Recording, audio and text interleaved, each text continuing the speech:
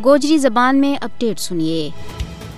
न सिर्फ़ भारत के जेर तसलत जम्मू कश्मीर, बल्कि पूरा हिंदुस्तान में सहाफत एक जुर्म बन चुकी है। एक बखी भारतीय फस्ताई हुकूमत सहाफत की आज़ादी का बुलंद बांग दावा करा है और दूजे पास है कश्मीर और भारत में प्रेस की आज़ादी ना सलब कर ली हुआ है। सहाफिया पर सच बोलन और सच लिखने की पादाश में छापा, गिरफ्तारी, दफ्तर की फान तोड़ जिसमानी तशद हर तड़ा को मामूल बन गया है। पाँच अगस्त दो हज़ार उन्नीस, जब कश्मीर की खसूसी हैसियत को गैर आइनी और गैर कानूनी फैसलों किए गए उस वड़ा तो बाद भारतीय हुकाम की तरफों सहाफियों पर कश्मीर की ज़मीन तंग कर दी गई है। मजालम में कई गुना बादो कर दी गया है। कश्मीरी सहाफी रकीब नायक का अमरीका फरार होने तो बाद भी उसका वारत ना हरासा करनो इस गल की निशानदेही करे कि मोदी हुकूमत किस कदर जिल्लत की पस्ती में चढ़ चुकी है। मोदी हुकूमत की तरफों रकीब नायक जैसा नामवर सहाफिया ना मुनजम तरीका ना हरासा करनो तनकीदी आवाज़ ना दुबान की उसकी कोशिशों को एक वाजह सबूत है। कश्मीरी साफी रकीब नायक वर जुलम,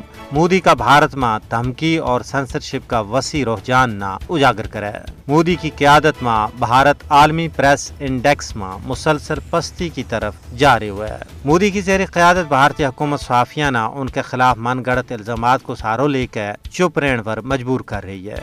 कश्मीर और भारत में सहाफिया न तमकान हरासा करन और हमला को मकसद उन्होंने अपना फ़र्ज़ मनसबी की अंजाम दही तो रोकनो है दरअसल भारतीय फसाई हुकूमत अपना मकरू करतूतों पर पर्दो करने वास्ते आज़ादी प्रेस को गल कुटना चाहे लेकिन भारत लख जतन कर ले, सच न कदे भी झूठ का पर्दा में छुपाया नहीं जा सकता। सच और हक निखर के सामने आ जाए। कश्मीर और भारत में आज़ादी सहाफत पर हमलो, आलमी सहाफती तंजीमा वास्ते चुशम कुशा है